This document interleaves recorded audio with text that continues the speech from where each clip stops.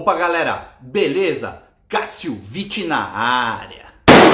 Bom, seguinte, hoje eu decidi mostrar para vocês os filmes que eu tenho aqui na minha coleção de um dos personagens da DC Comics que eu mais gosto. Apesar de ser mais fã da Marvel do que da, da DC, eu gosto bastante da DC também. Eu colecionava os gibizinhos da DC, da Ebal Editora. Então, eu, eu aprendi a, a, gostar desses personagens também. Então eu separei para vocês todos os filmes que eu tenho na minha coleção do Cavaleiro das Trevas. Vamos ver? Bom, galera, vamos lá. Vou mostrar para vocês a minha coleção de filmes do Batman. Olha aqui o tamanhozinho da coleção. Vamos lá. Bom, como eu já mencionei anteriormente, uh, as séries lá nas décadas de 30, 40, talvez comecinho da década de 50, eram exibidas nos cinemas. Então, em 1943 foi lançada uma série chamada Batman. É lógico que a capa aqui é uma capa moderna, né? Não retrata o pôster da época nada, mas é uma série muito legal. Eu gostei pra caramba dessa série aqui. São 259 minutos aproximadamente, ó. Um box bem caprichado da... Deixa eu pegar aqui o foco. Da Classic. Olha só que legal. É um, um box caprichadíssimo. Infelizmente, assim, eles pecaram um pouco por não colocar as imagens da época. Aqui tem uma foto do, do Batman desta série aqui. São 15 episódios na série. Uma série que, assim, é, volto a dizer, eu, eu achei bem legal. Eu, eu gosto de filmes branco e preto, esses filmes mais antigos, meio no ar assim. Eu recomendo essa série, muito legal, hein? Em 1949, nós tivemos a série Batman e Robin, a volta do Homem Morcego. Né? Era outro ator tá? que fazia o, o Batman e eu tenho aqui, ó, foi lançado aqui no Brasil dois DVDs. Tá vendo? Bem legal. Isso aqui eu não sei se está à venda ainda ou não. Essa aqui já traz aqui, ó, uma tira com algumas cenas do seriado, né? Mas em compensação, não tem aquele capricho que tem a série anterior, né? E o disco, esse aqui é o, o DVD 1, também com os primeiros oito episódios. E aqui o DVD 2, com os últimos sete episódios. Aí depois em 1966 foi lançado nos cinemas o filme Batman, o Homem Morcego que na verdade se aproveitava aí do estrondoso sucesso daquela série clássica do, do Batman, né? São os mesmos atores aqui. Vendo os vilões e tal. É um filme é, fraco, mas engraçado. É um filme que, que vale a pena. Eu, eu gosto bastante desse filme aqui. Infelizmente a dublagem aqui Está diferente da dublagem da série, mas é um filme bem, bem legal. Em 1989 foi lançado o filme Batman com Michael Keaton, filme do é, um dos meus diretores prediletos aí, Tim Burton. Qualquer dia eu faço aí um vídeo com os meus filmes do Tim Burton, né?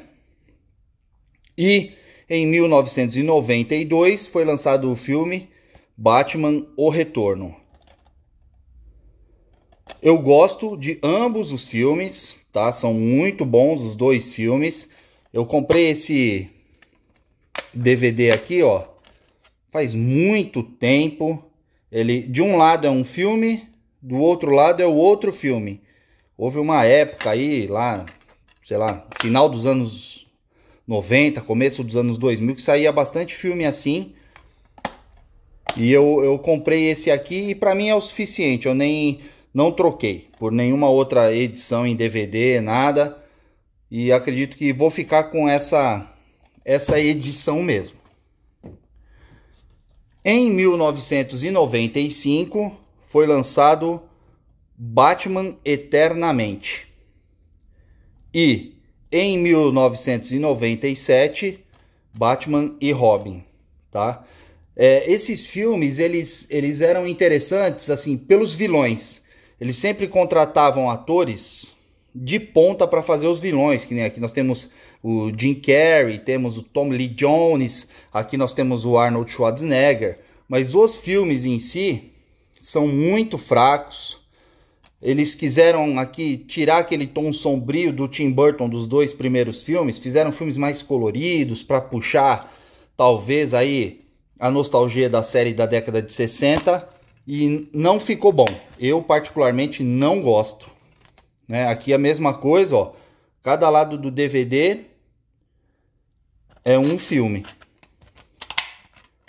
Então, se o anterior eu já não fiz questão de, de trocar por uma outra edição, para mim isso aqui é que eu não troco mesmo, porque esses dois filmes aqui são bem, bem fracos. Em 2005, nós tivemos aí o lançamento de Batman Begins. Esse filme é sensacional. Eu adoro esse filme. Esse aqui eu, eu comprei a, a, edição americana, eu, eu não tinha. E tava uma promoção muito legal na, na Amazon UK na época. Eu, muito baratinho mesmo. Eu falei, ah, vou comprar. E acabei comprando o filme. Olha só que legal aqui o disco. Tem uma... É, eu achei que tinha aqui uma arte interna, mas não tem não. Olha só aqui, que legal o disco, né? Esse aqui figura também entre os meus filmes prediletos. Mas em 2008 saiu o que para mim é o melhor filme do Batman de todos os tempos. Batman, o Cavaleiro das Trevas. Um filmaço. Olha só.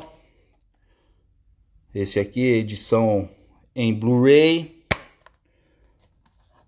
Esse filme aqui causou bastante expectativa antes do seu lançamento e correspondeu bem às expectativas.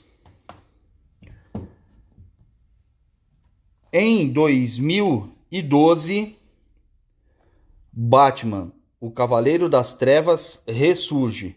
Mais um filme muito bom muito bom mesmo. Sou super fã desse filme. Comprei aqui uma edição especial em Blu-ray. Com dois discos.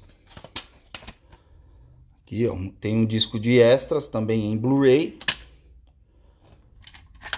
Outro filmaço. Essa trilogia do Batman aqui é, é a trilogia definitiva né?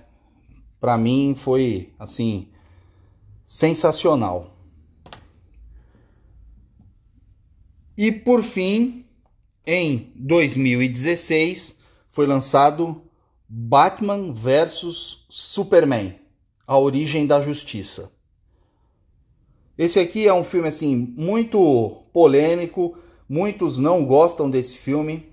Tem muitas coisas nesse filme que eu também não, não sou fã, mas no geral eu gosto desse filme. Eu gostei do, do Batman do Ben Affleck.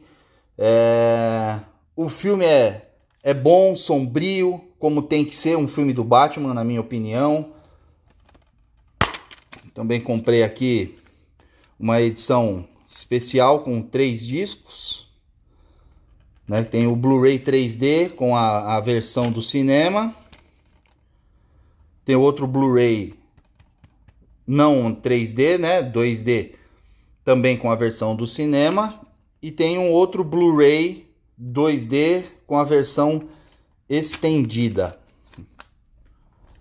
Tá? Eu, particularmente, eu, eu gosto do filme. Não é o filme maravilhoso e tal, mas corresponde às minhas expectativas aí.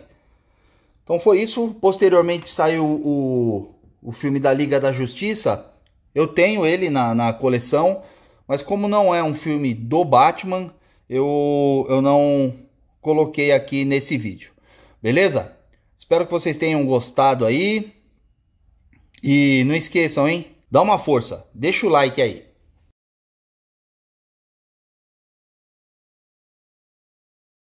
Então é isso, galera. Essa é a minha coleção de filmes do Batman. Sem mais delongas, fui.